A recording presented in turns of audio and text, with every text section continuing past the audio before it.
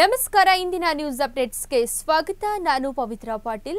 ಇದೀಗ ಹೆಡ್ಲೈನ್ಸ್ ನೆರೆ ಪರಿಹಾರ ಚೆಕ್ ವಿತರಣೆಯಲ್ಲಿ ಅಧಿಕಾರಿಯ ಎಡವಟ್ಟು. ಸಹಿ ಮಾಡದೆ ಪರಿಹಾರದ ಚೆಕ್ ವಿತರಣೆ ಮಾಡಿದ ರಾಮದುರ್ಗದ ಗ್ರೇಟ್ ಟು ತಹಸೀಲ್ದಾರ್ ವಿಜಯಕುಮಾರ್ ಕಡ್ಕೋಳ್ ಎಂಬ ಅಧಿಕಾರಿಯಿಂದ ಚೆಕ್ ವಿತರಣೆ.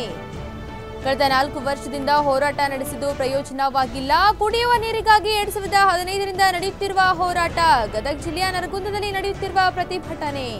ಸಾಲದ ಬಾಧೆಗೆ ಬೇಸತ್ತು ರೈತ ಮಹಿಳೆ ಆತ್ಮಹತ್ಯೆಗೆ ಶರಣು ನಿರ್ಣಾ ಗ್ರಾಮದ ರತ್ನಮ್ಮ ಚಿತ್ರಿ ಮೃತ ಮಹಿಳೆ ಮನ್ನಾಯಿಕಳಿ ಪೊಲೀಸ್ ಠಾಣೆಯಲ್ಲಿ ಪ್ರಕರಣ ದಾಖಲು.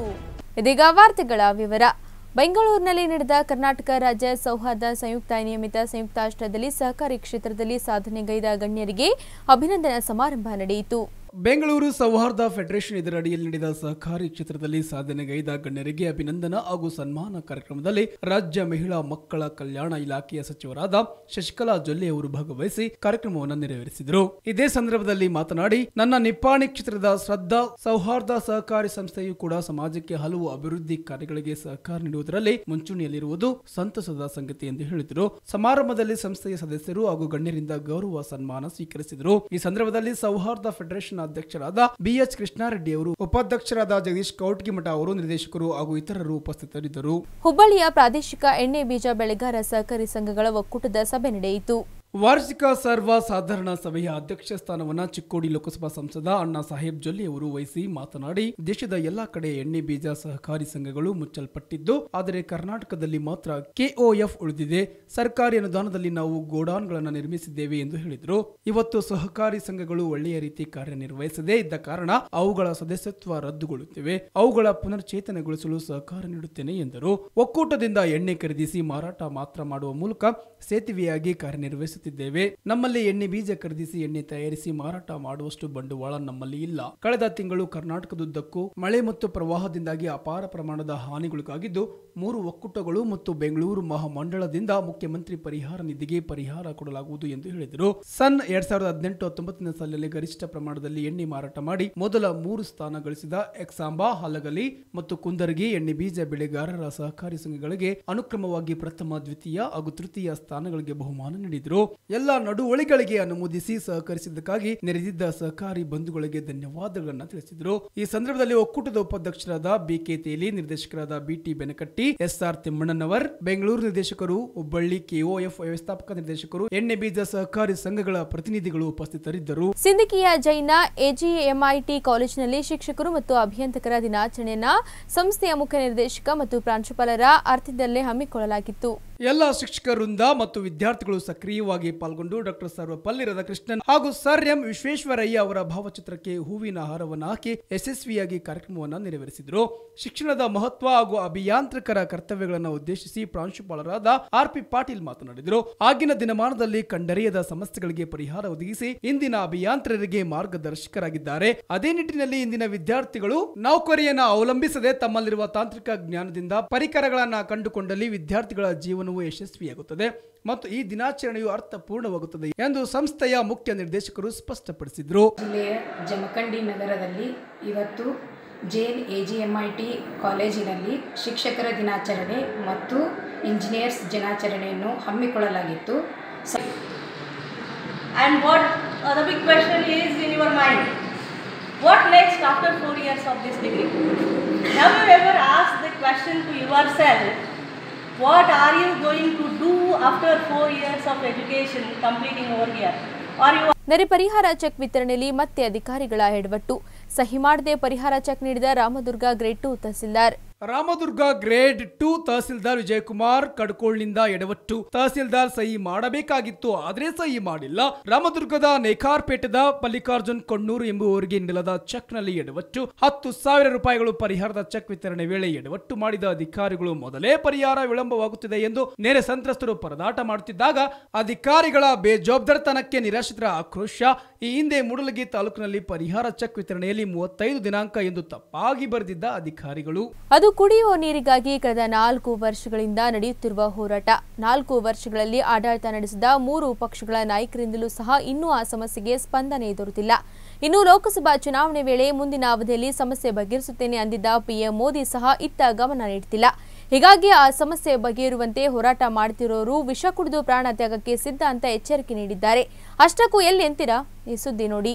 ಕಳೆದ ನಾಲ್ಕಕ್ಕೂ ಹೆಚ್ಚು ವರ್ಷಗಳಿಂದ ನಡೀತಿರೋ ಹೋರಾಟ ರೈತರ ಹೋರಾಟಕ್ಕೆ ಕ್ಯಾರೇನದ ಸರ್ಕಾರಗಳು ಸಮಸ್ಯೆ ಬಗೆಹರಿಸುವುದಾಗಿ ಭರವಸೆ ನೀಡಿ ಇತ್ತ ತಿರುಗಿಯೂ ನೋಡದ ಪ್ರಧಾನಿ ನರೇಂದ್ರ ಮೋದಿ. ಹೌದು, ನಾವೀಗ ನಿಮ್ಗೆ ಹೇಳ್ತಾ ಇರೋದು, ಗದಗ ಜಿಲ್ಲೆಯ ಬಂಡಾಯದ ನಾಡು ನರಗುಂದದಲ್ಲಿ ನಡೀತಿರೋ ಮಹದಾಯಿ ಹೋರಾಟದ ಬಗ್ಗೆ. ಮಹದಾಯಿ ನದಿಯನ್ನ ಮಲಪ್ರಭಾ ನದಿಗೆ ಸೇರಿಸಿ ಎನ್ನುವ ಆಗ್ರಹ ಕಳೆದ ಮೂವತ್ತು ವರ್ಷಗಳಿಂದ ಇದೆ. ಆದರೆ ಈ ಕೂಗು ಕಳೆದ ನಾಲ್ಕು ವರ್ಷಗಳಿಂದ ನಿರಂತರ ಹೋರಾಟ ನಿಲ್ಲದೆ ಸಾಗುತ್ತಾ ಬಂದಿದೆ. ಆದರೂ ಸಹ ರಾಜ್ಯ ಹಾಗೂ ಕೇಂದ್ರ ಸರ್ಕಾರಗಳು ಇತ್ತ ತಿರುಗಿಯೂ ನೋಡಿಲ್ಲ. ಇನ್ನು ಈ ಕುರಿತು ರಾಜ್ಯ ಸರ್ಕಾರದ ಗಮನ ಸೆಳೆಯುವ ಸಲುವಾಗಿ ಇದೇ ತಿಂಗಳು ರಾಜ್ಯಭವನಕ್ಕೆ ತೆರಳಿ ಅಲ್ಲಿ ಯೋಜನೆ ಕುರಿತು ರಾಜ್ಯಪಾಲರಿಗೆ ಮನವರಿಕೆ ಮಾಡಿಕೊಡುವ ಮೂಲಕ ಸರ್ಕಾರದ ಗಮನ ಸೆಳೆಯುತ್ತಿವೆ. ಒಂದು ವೇಳೆ ಆಗ್ಲೂ ಸರ್ಕಾರದಿಂದ ಯಾವುದೇ ಬಗೆಯ ಸಕಾರಾತ್ಮಕ ಉತ್ತರ ದೊರಕಲಿಲ್ಲವಾದ್ರೆ ಅಲ್ಲಿಯೇ ವಿಷಯ ತಗೊಂಡು ಪ್ರಾಣಾರ್ಪಣೆ ಮಾಡುತ್ತೇವೆ ಅಂತಾರೆ ಹೋರಾಟಗಾರರು. ಇನ್ನು ಇಂದು ಹೋರಾಟಗಾರರೆಲ್ಲ ಮಲಪ್ರಭೆಗೆ ಅಡ್ಡಲಾಗಿ ನಿರ್ಮಿಸಿರೋ ನವಿಲು ತೀರ್ಥ ಜಲಾಶಯಕ್ಕೆ ತೆರಳಿ ಬಾಗಿನ ಅರ್ಪಿಸುವ ಮೂಲಕ ಮತ್ತೊಂದು ಹೋರಾಟಕ್ಕೆ ಮುನ್ನಡೆ ಬರೆದಿದ್ದಾರೆ. ರಾಜಭವನ ಚಲೋ ಎಂದು ಹಮ್ಮಿಕೊಳ್ಳಬೇಕೆನ್ನುವ ವಿಚಾರವನ್ನ ಇಂದು ಅಥವಾ ನಾಳೆ ತೀರ್ಮಾನಿಸುವುದಾಗಿಯೂ ತಿಳಿಸಿದ ಅವರು, ಪರಿಸ್ಥಿತಿ ಗಂಭೀರಗೊಳ್ಳುತ್ತಿದೆ ಎಂದು ಎಚ್ಚರಿಸಿದ್ದಾರೆ. ಲೋಕಸಭಾ ಚುನಾವಣೆಯ ಪ್ರಚಾರದ ವೇಳೆ ಗದಗಕ್ಕೆ ಬಂದಿದ್ದ ಪ್ರಧಾನಿ ನರೇಂದ್ರ ಮೋದಿ ಮತ್ತೊಮ್ಮೆ ಆಯ್ಕೆಯಾದರೆ ಮಹದಾಯಿ ಸಮಸ್ಯೆ ಇತ್ಯರ್ಥಪಡಿಸುವುದಾಗಿ ಮಾತು ನೀಡಿದರು. ಈಗ ಗೋವಾ, ಮಹಾರಾಷ್ಟ್ರ ಹಾಗೂ ನಮ್ಮ ರಾಜ್ಯದಲ್ಲಿಯೂ ಬಿಜೆಪಿ ಸರ್ಕಾರಗಳು ಅಸ್ತಿತ್ವದಲ್ಲಿವೆ. ಆದರೂ ಸಮಸ್ಯೆ ಇತ್ಯರ್ಥ ವಿಚಾರಕ್ಕೆ ಯಾರು ಗಮನ ಕೊಡದೆ ಕಾಲಹರಣ ಮಾಡ್ತಿದ್ದಾರೆ. ಈ ಮೂಲಕ ಪ್ರಜಾಪ್ರಭುತ್ವದ ಕೊಲೆ ಮಾಡಲಾಗ್ತಿದೆ ಎಂದು ಹೋರಾಟಗಾರರು ತೀವ್ರ ಅಸಮಾಧಾನ ವ್ಯಕ್ತಪಡಿಸಿದ್ದಾರೆ. ನಾಲ್ಕು ಜಿಲ್ಲೆಗಳ ಹನ್ನೊಂದು ತಾಲೂಕುಗಳ ಜನರಿಗೆ ಜೀವನಾಡಿಯಾಗಿರೋ ಈ ಯೋಜನೆ ಜಾರಿಯಾದ್ರೆ ಯಾವತ್ತೂ ಸಹ ಬರಕ್ಕೆ ತತ್ತರಿಸಲ್ಲ ಎನ್ನುವುದು ರಾಜಕಾರಣಿಗಳಿಗೂ ಗೊತ್ತಿದೆ. ಆದರೆ ಪ್ರತಿ ಬಾರಿಯ ಚುನಾವಣೆಗೆ ಈ ಬಗೆಯ ಪ್ರಮುಖ ವಿಚಾರಗಳು ಪ್ರಚಾರದ ಅಸ್ತ್ರವಾಗ್ತಿವೆ ಎನ್ನೋ ಏಕೈಕ ವಿಚಾರಕ್ಕೆ ಅವರೆಲ್ಲ ಯೋಜನೆ ಜಾರಿಗೆ ಹಿಂದೇಟು ಹಾಕ್ತಿದ್ದಾರೆ ಎನ್ನುವುದು ರೈತರ ಆರೋಪವಾಗಿದೆ. ಈ ಆರೋಪವನ್ನು ಹೋಗಲಾಡಿಸೋ ನಿಟ್ಟಿನಲ್ಲಿ ಈಗಲಾದರೂ ಸರ್ಕಾರ ಕ್ರಮ ಕೈಗೊಳ್ಳಬೇಕಾಗಿದೆ.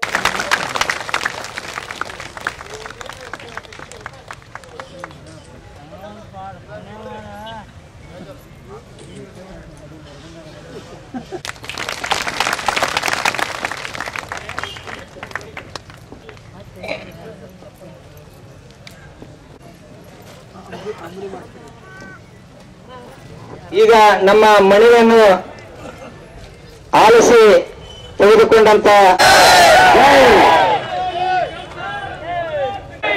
ನಮ್ಮ ಗುರುವರಿಗೆ ನನ್ನ ಸಂಘಟನೆ ಪರವಾಗಿ ಎಲ್ಲ ಕಸ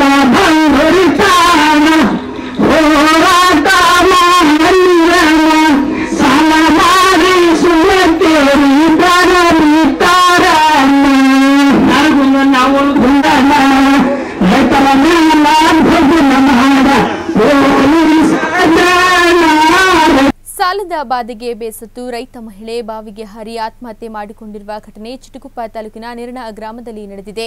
ಚಿಟಗುಪ್ಪ ತಾಲೂಕಿನ ನಿರಣಾ ಗ್ರಾಮದಲ್ಲಿ ಘಟನೆ.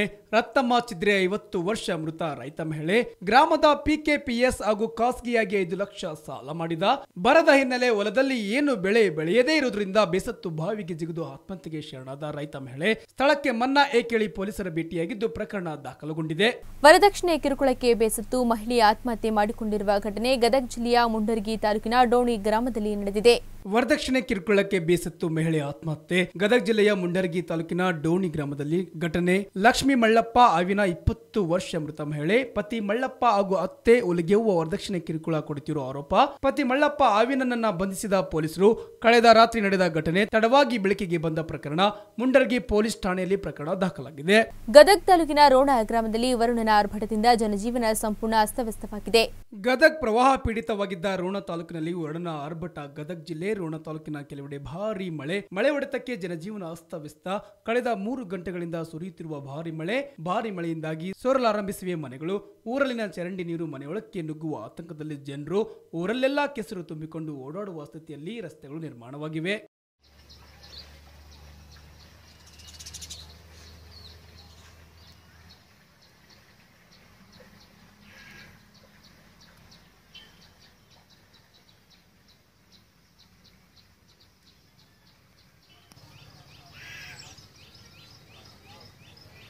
ವಿಜಯಪುರ ಜಿಲ್ಲೆಯ ದೇವರಹಿಪ್ಪರ್ಗಿ ವಿಧಾನಸಭಾ ಮತಕ್ಷೇತ್ರದ ಅಸ್ಕಿ ಗ್ರಾಮದಲ್ಲಿ ರೈತರ ಭೀಮಾ ಫಸಲ್ ಯೋಜನೆ ಹಣ ಬಿಡುಗಡೆ ಮಾಡುವಂತೆ ಗ್ರಾಮಸ್ಥರು ಒತ್ತಾಯಿಸಿದ್ದಾರೆ.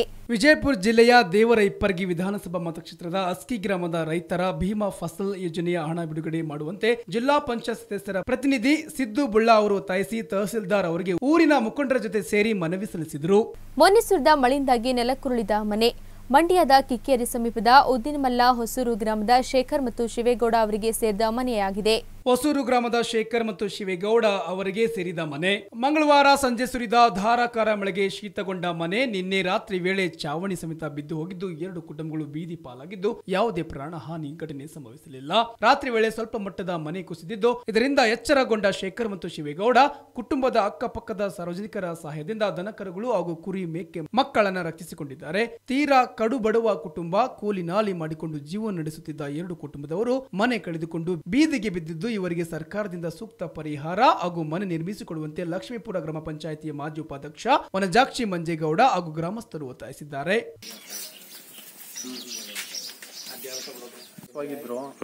ಮೊನ್ನೆ ಮಳೆ ಜಾಸ್ತಿ ಮಳೆ ಆಗಿದ್ದು ದೇಶಮಟ್ಟ ಕುಸ್ತು ಪೂರ್ತಿ ಮನೆ ಎರಡು ಸಂಸಾರದ ಮನೆ ಪೂರ್ತಿ ಮನೆ ಬಿದ್ದೋಗಿದೆ.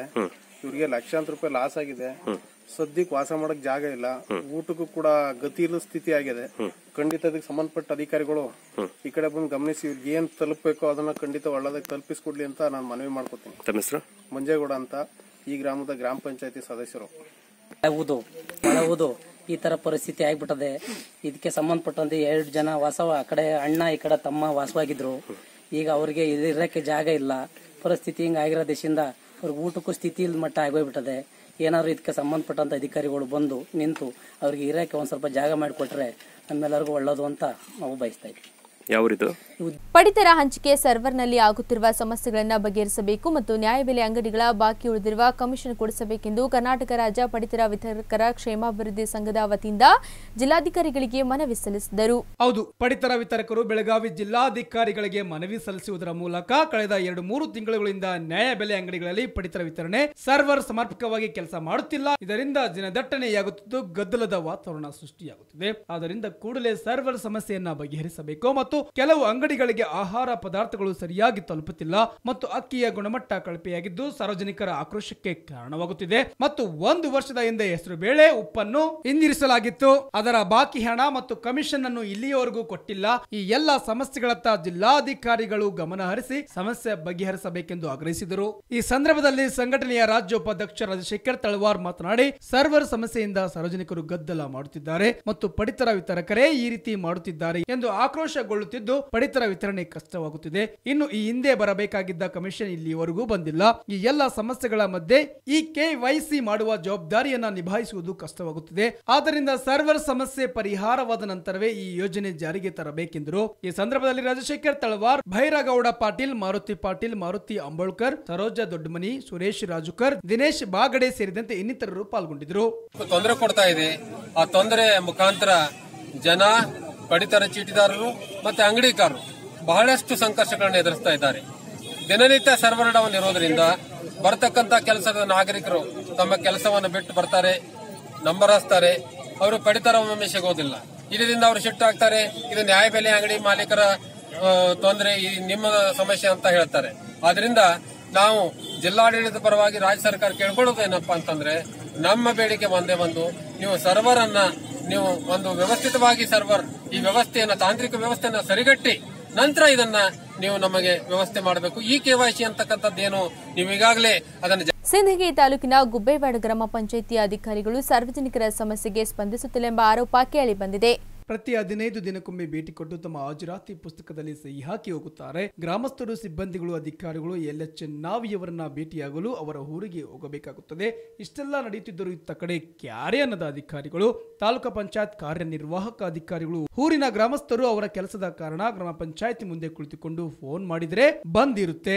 ಪಂಚಾಯತ್ ಸಿಬ್ಬಂದಿಗಳನ್ನ ಕೇಳಿದಾಗ ಪಂಚಾಯತ್ ಅಭಿವೃದ್ಧಿ ಅಧಿಕಾರಿ, ಇವತ್ತು ಬಂದಿಲ್ಲ, ನಾಳೆ ಬಾ ನೋಡೋಣ ಅಂತ ಉಡಾಫೆ ಉತ್ತರ ನೀಡುತ್ತಾರೆ. ಈಗಲಾದ್ರೂ ಜನಸಾಮಾನ್ಯರ ಪರಿಸ್ಥಿತಿಯನ್ನ ಅರಿತು ವಿಜಯಪುರ ಜಿಲ್ಲಾ ಪಂಚಾಯತ್ ಸಿಇಒ ಮತ್ತು ತಾಲೂಕಾ ಪಂಚಾಯತ್ ಕಾರ್ಯನಿರ್ವಾಹಕ ಅಧಿಕಾರಿಗಳು ಈ ಗ್ರಾಮ ಪಂಚಾಯತ್ನ ಪಿಡಿಒ ಮೇಲೆ ಸೂಕ್ತ ಕ್ರಮ ಕೈಗೊಳ್ಳಬೇಕೆಂದು ಗ್ರಾಮಸ್ಥರು ಮನವಿ ಮಾಡಿದ್ದಾರೆ. ಸರ್ ಸರ್ ನಾ ರೂಲ್ ರೆಗ್ಯುಲೇಷನ್ ಇಷ್ಟ ಆಯ್ತು. ನನಗೆ ಇಂತರ ಬೇಕು ಸರ್ ಪ್ರತಿ ಪ್ರತಿ ಪ್ರತಿ ಇಂತರ ಬೇಕು ನನಗೆ. ನಾ ಹೇಳಿ ಸರ್. ಆಕ್ಟಿವ್ ಅನಿಸ್ತದೆ ಕೆಲಸ ಮಾಡಕ್ಕೆ ಅದೇ ಹೇಳ್ತಾನೆ ಎಲ್ಲಿಲ್ಲ? ಇಲ್ಲ, ಫೋನ್ ಬಿಡಪ್ಪ ಮಾಡ್ತೀನಿ. ಸರ್ ನಡತ್ತಿ ಹೆಂಗ ನಿಮ್ಮ ಅಯ್ಯೋ ಇದ್ರು ಇಲ್ಲಿಲ್ಲ ಯಾ ಸರ್ ಗುಡ್ ಸರ್. ನಾ ಅಪ್ಸೆಟೆಡ್ ಸರ್ ಪಾಯಿಂಟ್ ಇದೆ. ಅಪ್ಸೆಟೆಡ್ ಹಾ. ನಮ್ಗೆ ಇಂತರ ಬೇಕಿತ್ತು ಅದೇ ಆಗ್ತದೆ ನಮ್ಗೇನು ಇದು ಇಲ್ಲ. ಇದ್ದಿದ್ದು ಎಲ್ಲಿಂದ ಬರ್ತೀನಿ ಕೊಡ್ತಾನೆ ಸರ್? ಇಲ್ಲಿ ಇಲ್ಲಿ ಕೇಳ್ನು. ತಿಳ್ಕೊಂಡು ಎಷ್ಟುವರೆಗೆ ನಿಮ್ಮ ಬಗ್ಗೆ ತಿಳ್ಕೊಂಡು ಅಲ್ಲ ಸರ್ ನಾ ಎಲ್ಲಿಂದ ಸರ್ ಬರ್ತೀನಿ? ಮೇಡಮ್ ಹೇಳಿದ್ರು ಒಂದೂರ ಐವತ್ತು ಕಿಲೋಮೀಟರ್ ಬರ್ತಾನೆ ಹತ್ತುವರೆ ಗಂಟೆಗೆ ಇಲ್ಲಿ. ಸರ್ ಅಕ್ಸೆಪ್ಟೆಡ್ ಸರ್ ನಾವು ನಿಮ್ಮಿಂದ ನಾವು ಪ್ರೊಮೋಟೆಡ್ ರೀ. ಸರ್ ಎಂಬತ್ತೆಂಟರ ನಮ್ದು. ಬಿಲ್ ಕಲೆಕ್ಟರ್ ಕಳೆದ ಒಂದು ವರ್ಷದಿಂದ ಹಿಂದೆ ಅರ್ಹ ಫಲಾನುಭವಿಗಳಿಗೆ ಪಿಂಚಣಿ ನೀಡಲು ಸರ್ಕಾರ ಆದೇಶ ಪತ್ರ ನೀಡಿದ್ರು ಇದುವರೆಗೂ ಯಾವುದೇ ಕಾರ್ಯಗಳು ಜರುಗಿಲ್ಲ ಎಂದು ಆಗ್ರಹಿಸಿ ಫಲಾನುಭವಿಗಳು ತಮ್ಮ ಆದೇಶ ಪತ್ರಗಳನ್ನು ಕೈಯಲ್ಲಿ ಹಿಡಿದು ಜಿಲ್ಲಾಧಿಕಾರಿಗಳ ಕಚೇರಿ ಮುಂದೆ ಪ್ರತಿಭಟನೆ ನಡೆಸಿ ಜಿಲ್ಲಾಧಿಕಾರಿಗಳಿಗೆ ಮನವಿ ಸಲ್ಲಿಸಿದರು. ಸಂಧ್ಯಾ ಸುರಕ್ಷಾ ಅಂಗವಿಕಲ ವಿಧವಾ ಇಂದಿರಾ ಗಾಂಧಿ ಮನಸ್ವಿನಿ ಬುದ್ಧಿಮಾಂದ್ಯತೆಯನ್ನ ಹೊಂದಿದ ಫಲಾನುಭವಿಗಳಿಗೆ ಸರ್ಕಾರದಿಂದ ಸಿಗುವಂತಹ ಪಿಂಚಣಿ ಪ್ರಮಾಣ ಪತ್ರ ನೀಡಿದರು ಕಳೆದ ಒಂದು ವರ್ಷದಿಂದ ಪಿಂಚಣಿ ಹಣ ವಿತರಿಸಿಲ್ಲ. ಆಹಾರ ಫಲಾನುಭವಿಗಳು ಸಂಬಂಧಪಟ್ಟ ತಹಸೀಲ್ದಾರರಿಗೆ ಕೇಳಿದ್ರೆ ಅಧಿಕಾರಿಗಳು ಈಗಾಗಲೇ ಎಲ್ಲ ಮಾಹಿತಿಯನ್ನ ಬೆಂಗಳೂರಿಗೆ ಕಳುಹಿಸಲಾಗಿದೆ ನಿಮ್ಮ ಬ್ಯಾಂಕ್ ಪಾಸ್ಬುಕ್, ಆಧಾರ್ ಕಾರ್ಡ್ ಕೊಡುವಂತೆ ಪದೇ ಪದೇ ತೊಂದರೆ ನೀಡುತ್ತಿದ್ದಾರೆ. ವೃದ್ಧಾಪ ವಯಸ್ಸಿನಲ್ಲಿರುವ ಅವರಿಗೆ ಅಲೆದಾಡಲು ಆಗುವುದಿಲ್ಲ. ಕೂಡಲೇ ಜಿಲ್ಲಾಧಿಕಾರಿಗಳು ಸಂಬಂಧಪಟ್ಟ ಅಧಿಕಾರಿಗಳ ಮೇಲೆ ಕ್ರಮ ಜರುಗಿಸಿ ಫಲಾನುಭವಿಗಳಿಗೆ ಪಿಂಚಣಿ ಒದಗಿಸಬೇಕು ಎಂದು ಕಸ್ತೂರಿ ಭಾವ್ಯ ಆಗ್ರಹಿಸಿದರು. ಮಾಶಾಸನಗಳ ಅಂದ್ರೆ ಅರವತ್ತು ವರ್ಷ, ಅರವತ್ತೈದು ವರ್ಷ ಹಾಗೂ ಅಂಗವಿಕಲ ಕೂಟರ ಹಾಗೆ ಇದುವ ವೇತನ, ಮನಸ್ವಿನಿ ವೇತನ, ಇಲ್ಲಿವರೆಗೆ ಒಂದು ವರ್ಷ ಆರ್ಡರ್ ಕಾಪಿಗಳು ಕೊಟ್ಟ ಒಂದು ದಿನಕ್ಕೆ ಹುಟ್ರ ಕುಂಟ್ರ ನಡೆಯಕ್ ಬರಂಗಿಲ್ಲ ತಹಸೀಲ್ದಾರ್ ಆಫೀಸ್ನಾಗ ಆದ್ರೂ ಕುಂಡಿ ಹಾಕೊಂತ ಮ್ಯಾಗ ಹೋದ್ರು ಅವ್ರಿಗೆ ತಹಸೀಲ್ ಆಫೀಸ್ಗೆ ಹೋಗಿ, ಅಲ್ಲಿ ಹೋಗಿ ಅಂತೇಳಿ ಅವ್ನು ಹೊಡೆದಾಕು ಅಂತ ಕೆಲಸ ತಹಸೀಲ್ದಾರ್ ಆಫೀಸ್ನಾಗ ಮಾಡತ್ತಾರು. ಮತ್ತೆ ಎಪ್ಪತ್ತು, ಎಪ್ಪತ್ತೈದು ವರ್ಷ ಆದ್ರೂ ಅವರಿಗೆ, ಏ ಪಾಸ್ಬುಕ್ ತಂದು ಕೊಡು ಪ್ಯಾನ್ ಕಾರ್ಡ್ ತಂದು ಇದನ್ನೆಲ್ಲ ಕೇಳ್ಕಾಸ ಮಾಸಾಸನಗಳನ್ನ ಬಂದ್ ಮಾಡಿದಾರು. ಈಗ ಎಪ್ಪ ಎಂಬತ್ತೈದು ವರ್ಷ ಅವ್ರು ಎಲ್ಲಿ ಪಾಸ್ಬುಕ್ ತಂದು ಕೊಡ್ಬೇಕು ಅವ್ರು ಬ್ಯಾಂಕಿಗೆ ಹೋಗಕ್ ಬರಲ್ಲ ಬರಕ್ ಬರುದಿಲ್ಲ ಅಂತ ಪಾಸ್ಬುಕ್ ಕೇಳ್ತಾರ. ಆರ್ಡರ್ ಕಾಪಿ ಕೊಟ್ಟ ಮನಿಗ್ ಬರುವಂಗ್ ಮಾಡ್ರಿ ಅಂದ್ರ ಇವರ ಪೋಸ್ಟ್ಮನ್ಗಳೆಲ್ಲ ರೊಕ್ಕ ತಿನ್ನತ್ತಾರು ಅಂತಾರ. ನಡಕ್ ಇವರ ಅಧಿಕಾರಿಗಳ ತುಡುಗರದಾರ ಸುಳ್ಳ ಆ ಪೋಸ್ಟ್ಮನ್ಗಳ ಮೇಲೆ ಹಾಕತ್ತಾರ. ಇವ್ರು ಸರಿಯಾಗಿ ರೊಕ್ಕ ಬಿಡುಗಡೆ ಮಾಡಿದ್ರೆ ಮೂರ್ ತಿಂಗಳ ಮೂರ್ ತಿಂಗಳು ಬಂದ್ ಮಾಡ್ತಾರ ಪೆನ್ಷನ್. ಬೆಳಗಾವಿ ಮಹಾನಗರ ಪಾಲಿಕೆ ಮತ್ತು ಇನ್ನಿತರ ಸರ್ಕಾರಿ ಕೆಲಸಗಳಲ್ಲಿರುವ ಸಫಾಯಿ ಕರ್ಮಚಾರಿ ಮತ್ತು ಬಡ ಕಾರ್ಮಿಕರ ಸಂಬಳವನ್ನ ಆನ್ಲೈನ್ ಮೂಲಕ ಜಮೆ ಮಾಡಬೇಕೆಂದು ಆಗ್ರಹಿಸಿ ಕರ್ಮಚಾರಿಗಳು ಜಿಲ್ಲಾಧಿಕಾರಿಗಳಿಗೆ ಮನವಿ ಸಲ್ಲಿಸಿದರು. ಬೆಳಗಾವಿ ಜಿಲ್ಲಾಧಿಕಾರಿಗಳಿಗೆ ಮನವಿ ಸಲ್ಲಿಸಿದ ಅವರು, ಮಹಾನಗರ ಪಾಲಿಕೆ ಮತ್ತು ಸರ್ಕಾರ ಕಚೇರಿಗಳಲ್ಲಿ ಸಫಾಯಿ ಮತ್ತು ಕರ್ಮಚಾರಿಗಳು ಕೆಲಸ ಮಾಡುತ್ತಿದ್ದು, ಅವರ ಸಂಬಳವು ಆನ್ಲೈನ್ ಪೇಮೆಂಟ್ ಮುಖಾಂತರ ಖಾತೆಗೆ ಜಮಾ ಮಾಡದೆ, ಗುತ್ತಿಗೆದಾರರು ತಮ್ಮ ಕಮಿಷನ್ ಹಣವನ್ನ ನಾಲ್ಕು ಸಾವಿರದಿಂದ ಆರು ಸಾವಿರದವರೆಗೆ ತೆಗೆದುಕೊಂಡು ಕೊಡುತ್ತಿದ್ದಾರೆ. ಇದರಲ್ಲಿ ಬ್ಯಾಂಕ್ ಅಧಿಕಾರಿಗಳು ಸಹ ಗುತ್ತಿಗೆದಾರರಿಗೆ ಸಹಕರಿಸುತ್ತಿದ್ದಾರೆ. ಬ್ಯಾಂಕಿನವರು ನಮ್ಮ ಯಾವುದೇ ಪಾಸ್ಬುಕ್ ಅಪ್ಡೇಟ್ ಮಾಡಿಕೊಡದೆ ತೊಂದರೆ ಕೊಡುತ್ತಿದ್ದಾರೆ. ಗುತ್ತಿಗೆದಾರ ನಾಗೇಶ್ ಗೊಲ್ಲೂರ್, ಈತನು ಸಫಾಯಿ ಕರ್ಮಚಾರಿಗಳಿಗೆ ತೊಂದರೆ ಕೊಡುತ್ತಿದ್ದಾನೆ. ಕಾರಣ ಇನ್ನು ಮುಂದೆ ಆದರೂ ನಮ್ಮ ಸಂಬಳವನ್ನ ನೇರವಾಗಿ ಈ ಪೇಮೆಂಟ್ ಮುಖಾಂತರ ಖಾತೆಗೆ ಜಮಾ ಮಾಡಬೇಕು ಮತ್ತು ತಪ್ಪಿತಸ್ಥ ಗುತ್ತಿಗೆದಾರರ ಮೇಲೆ ಕ್ರಮ ಕೈಗೊಂಡು ಬಡ ಕಾರ್ಮಿಕರಿಗೆ ನ್ಯಾಯ ಒದಗಿಸಬೇಕೆಂದು ಒತ್ತಾಯಿಸಿದರು. ಯಾವುದೇ ಲೀಗಲ್ ಪ್ರೊಸೆಸ್ ಮಾಡಿಲ್ಲ. ಮತ್ತು ಅದ ಏನು ಮಾಡತ್ತಾರ? ಈಗ ಮೊನ್ನೆ ಒಂದು ಸಫಾಯಿ ವರ್ಕರ್ ಸತ್ರಿ, ಅದ ಅವ್ರಿಗೆ ಡೆಂಗು ಆಗಿದ್ದ. ಡೆಂಗು ಆಗಿದ ತಕ್ಷಣ ಅವರ ಸತ್ರಿ, ಅವ್ರಿಗೆ ಪೇಮೆಂಟ್ ಸಿಗಲಿಲ್ಲ ಅಂದ್ರೆ ಅವ್ರ ಹಾಸ್ಪಿಟಲ್ದಾಗ ರೊಕ್ಕ ರೊಕ್ಕ ಕೊಡಕ್ಕೆ ಅವ್ರ ಕಡೆ ಇದ್ದಿಲ್ಲ ಅಂದ್ರೆ ಅವ್ರ ಅವ್ರ ಅವ್ರದ್ದು ಪ್ರಾಬ್ಲಮ್ ಆಗಿದ್ ಮತ್ತು ಅವ್ರ ಸತ್ರಿ. ಅದ ಅದ ಒಂದು ದೊಡ್ಡ ಇಶ್ಯೂ ಆಗಿದ್ರಿ ಇನ್ನೂರಿಗೆ ಅದ ಅದು ಆಗಿದ್ರು ಈಗ ಎರಡು ತಿಂಗಳದ ಪೇಮೆಂಟ್ ಹಾಕಿದ್ದಾರೆ ಅದ ಪೇಮೆಂಟ್ ಹಾಕಿದ ಪೇಮೆಂಟ್ ಹಾಕಿದ ನಂತರ ಕಾಂಟ್ರಾಕ್ಟರ್ ಏನು ಮಾಡಿದ್ದಾರೆ ಇವ್ರ ಕಡೆಯಿಂದ ನಾಲ್ಕು ಸಾವಿರ, ಆರು ಸಾವಿರ ರೊಕ್ಕ ಕಮಿಷನ್ ಅಂತ ಇಸ್ಕೊಂಡಾರ. ಮತ್ತು ಯಾರು ಕೊಡೋದಿಲ್ಲ, ಅವರು ಅವ್ರಿಗೆ ನಾಡಿದ್ದು ನೀವು ಬರಬೇಡ್ರಿ ಅಂತ ಹೇಳ್ತಾರೆ. ಅದರ ಅದರ ಸಲುವಾಗಿ ಚಿಕ್ಕೋಡಿ ನಗರದಲ್ಲಿ ಬೆಳೆ ಪರಿಹಾರಕ್ಕಾಗಿ ಒತ್ತಾಯಿಸಿ ರೈತರು ಪ್ರತಿಭಟನೆ ನಡೆಸಿದರು. ಹೌದು, ರೈತರಿಗೆ ಸರ್ಕಾರಗಳು ಅನ್ಯಾಯ ಮಾಡುತ್ತಿದೆ. ಸರಿಯಾಗಿ ಬೆಳೆ ಪರಿಹಾರ ನೀಡಿಲ್ಲ. ಸಂತ್ರಸ್ತರಿಗೆ ಹತ್ತು ಸಾವಿರ ರೂಪಾಯಿಗಳು ಚೆಕ್ ತಲುಪಿಲ್ಲ. ಈ ಭಾಗದ ನೀರಾವರಿ ಯೋಜನೆಗಳನ್ನ ಜಾರಿ ಮಾಡದ ಸರ್ಕಾರ ರಾಷ್ಟ್ರೀಕೃತ ಬ್ಯಾಂಕ್ಗಳಿಂದ ಸಾಲ ಮನ್ನಾ ಮಾಡಬೇಕು. ಹಲವು ಬೇಡಿಕೆ ಇಟ್ಟುಕೊಂಡು ಪ್ರತಿಭಟನೆ ನಡೆಸಿದ ರೈತರು ಚಿಕ್ಕೋಡಿ ಪಟ್ಟಣದ ಬಸವ ವೃತ್ತದಲ್ಲಿ ಪ್ರತಿಭಟನೆ ನಡೆಯಿತು. ಮರಾಠ ಲೈಟ್ ಕಾಲಾಳು ಪಡೆ ರೆಜಿಮೆಂಟಲ್ ಕೇಂದ್ರದ ತರಬೇತಿನ ಪೂರ್ಣಗೊಳಿಸಿದ ನಾಲ್ಕುನೂರ ತೊಂಬತ್ತೆರಡು ಜನರು ಸಮ್ಮೇಳನ ಮತ್ತು ಪ್ರಮಾಣ ವಚನ ಸಮಾರಂಭವು ತಾಲೇಕರ್ ಡ್ರಿಲ್ ಚೌಕ್ನಲ್ಲಿ ನಡೆಯಿತು. ಎಸ್, ಈ ಸಂದರ್ಭದಲ್ಲಿ ಮುಖ್ಯ ಅತಿಥಿಯಾಗಿ ಲೆಫ್ಟಿನೆಂಟ್ ಜನರಲ್ ಮತ್ತು ರೆಜಿಮೆಂಟನ್ ಕರ್ನಲ್ ಪಿಜೆಎಸ್ ಪನ್ನು ಭಾಗವಹಿಸಿದ್ರು. ತರಬೇತಿಯನ್ನ ಪೂರ್ಣಗೊಳಿಸಿದ ಸೈನಿಕರು ರೆಜಿಮೆಂಟ್ನ ತ್ರಿವರ್ಣ ಮತ್ತು ಧ್ವಜಕ್ಕೆ ಸಾಕ್ಷಿಯಾಗುವ ಮೂಲಕ ತಾಯಿ ನಾಡಿನ ರಕ್ಷಣೆಗಾಗಿ ಅತ್ಯುನ್ನತ ತ್ಯಾಗ ಮಾಡುವುದಾಗಿ ಪ್ರತಿಜ್ಞೆ ಮಾಡಿದ್ರು. ತಮ್ಮ ಒಂಬತ್ತು ತಿಂಗಳ ಕಠಿಣ ತರಬೇತಿಯನ್ನ ಪೂರ್ಣಗೊಳಿಸಿದ ಸೈನಿಕರನ್ನು ನಾನು ಅಭಿನಂದಿಸುತ್ತೇನೆ ಮರಾಠ ಲೈಟ್ ಕಾಲ್ದಾಳು ಪಡೆಯಲ್ಲಿ ನೀಡಲಾದ ತರಬೇತಿ ಅತ್ಯುತ್ತಮವಾಗಿದೆ.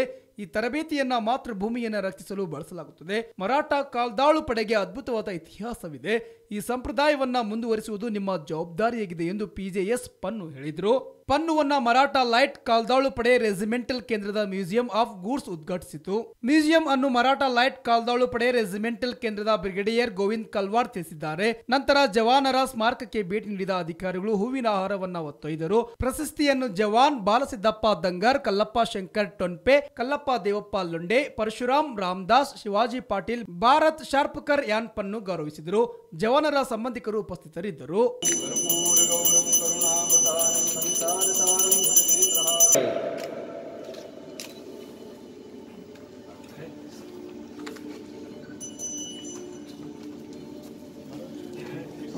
सर ऊपर आहे. सर ऊपर महाराज ऊपर आहे.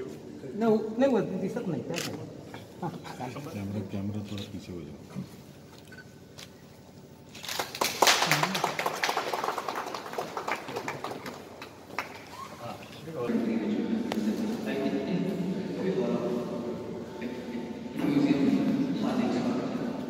Yes, the Maratha Light Club, our John Vistas.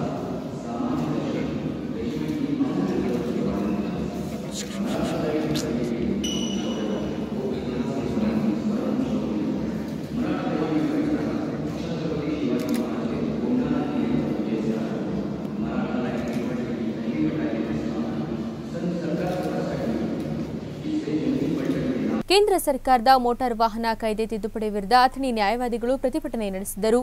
ಕೇಂದ್ರ ಸರ್ಕಾರದ ಮೋಟಾರು ವಾಹನ ಕಾಯ್ದೆ ಹತ್ತೊಂಬತ್ತು ನೂರ ಎಂಬತ್ತೆಂಟರ ಮೇಲೆ ತಿದ್ದುಪಡಿ ವಿರುದ್ಧ ಅಥಣಿ ನ್ಯಾಯವಾದಿಗಳು ಪ್ರತಿಭಟನೆಯನ್ನ ಮಾಡಿದ್ರು. ಬೆಂಗಳೂರು ನ್ಯಾಯವಾದಿಗಳ ಸಂಘದವರು ಕೈಕೊಂಡ ನಿರ್ಣಯದಂತೆ ಇಂದು ಅಥಣಿಯ ನ್ಯಾಯವಾದಿಗಳು ಕೇಂದ್ರ ಸರ್ಕಾರವು ಮೋಟಾರ್ ವಾಹನ ಕಾಯ್ದೆ ಹತ್ತೊಂಬತ್ತು ನೂರ ಎಪ್ಪತ್ತೆಂಟರ ಮೇಲೆ ತಿದ್ದುಪಡಿ ಮಾಡಿದ್ದರಿಂದ ಸಾರ್ವಜನಿಕರು, ಕಕ್ಷಿದಾರರು ಹಾಗೂ ವಕೀಲರು ಇವರುಗಳಿಗೆ ಎರಡ್ ಸಾವಿರದ ಹತ್ತೊಂಬತ್ತರ ತಿದ್ದುಪಡಿಯಾಗಿರುವುದರಿಂದ ಅಥಣಿಯ ನ್ಯಾಯವಾದಿಗಳು ತಿದ್ದುಪಡಿಯನ್ನ ತೀವ್ರವಾಗಿ ಖಂಡಿಸಿದ್ರು. ಸದರಿ ತಿದ್ದುಪಡಿಯನ್ನ ಕೇಂದ್ರ ಸರ್ಕಾರವು ಹಿಂಪಡೆಯುವಂತೆ ಸಂಘವು ತಮ್ಮ ಮನವಿ ಮುಖಾಂತರ ವಿನಂತಿ ಮಾಡಿಕೊಳ್ಳಲಾಯಿತು. ಸಂಘದ ಮನವಿಗೆ ಕೇಂದ್ರ ಸರ್ಕಾರವು ಸ್ಪಂದಿಸದೇ ಇದ್ದಲ್ಲಿ ಕರ್ನಾಟಕ ಉಚ್ಚ ನ್ಯಾಯಾಲಯ, ಸರ್ವೋಚ್ಚ ನ್ಯಾಯಾಲಯದಲ್ಲಿ ನಮ್ಮ ಸಂಘವು ಪ್ರತ್ಯೇಕ ರಿಟ್ ಅರ್ಜಿಯನ್ನ ದಾಖಲಿಸುವುದು ಅಂತ ವಕೀಲರ ಸಂಘದ ಅಧ್ಯಕ್ಷ ಕೆ. ಎ. ವಣಜೋಳ ಹೇಳಿದ್ರು. ಕೇಂದ್ರ ಸರ್ಕಾರಕ್ಕೆ ಮತ್ತು ರಾಜ್ಯ ಸರ್ಕಾರಕ್ಕೆ ಮನವಿಯನ್ನ ಉಪ ತಹಸೀಲ್ದಾರ್ ಬಿರಾದರ್ ಪಾಟೀಲ್ರ ಮುಖಾಂತರ ಸಲ್ಲಿಸಿದ್ರು. ಕೋರ್ಟ್ ಪಕ್ಕದ ಐನಾಪುರ ರಸ್ತೆಯಲ್ಲಿ ಪ್ರತಿಭಟನೆ ಹಮ್ಮಿಕೊಂಡಿದ್ದರಿಂದ ರಸ್ತೆ ತಡೆಯಿಂದಾಗಿ ಕೆಲಕಾಲ ಟ್ರಾಫಿಕ್ ಜಾಮ್ ಉಂಟಾಗಿ ಪ್ರಯಾಣಿಕರು ಪರದಾಡಬೇಕಾಯಿತು. ಈ ಸಂದರ್ಭದಲ್ಲಿ ನ್ಯಾಯವಾದಿ ಸಂಘದ ಅಧ್ಯಕ್ಷ ಕೆ. ಎ. ವಣಜೋಳ ಹಾಗೂ ನ್ಯಾಯವಾದಿಗಳಾದ ಸುನಿಲ್ ಸಂಕ್ ಶ್ರೀಕಾಂತ್ ಪೂಜಾರಿ ಲೆನಿನ್ ಅಳಿಂಗಳಿ ಮುಂತಾದವರು ಪಾಲ್ಗೊಂಡಿದ್ರು